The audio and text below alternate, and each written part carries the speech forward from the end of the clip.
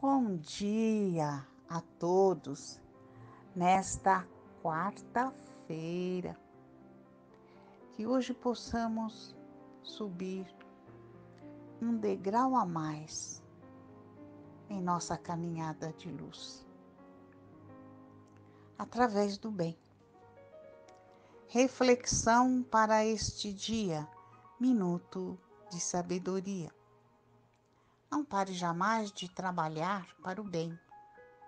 Cada vez que paramos, nossa alma começa a ficar na rigidez cadavérica. A alma inativa morre de tédio e cansaço. Não deixe que seu espírito se enfraqueça na inação. Viva alegre entusiasta.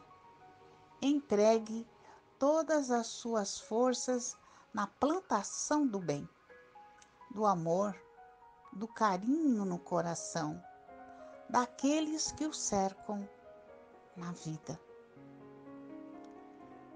O trabalho é a maior força que todos nós temos para continuar vivos. Bom dia a todos.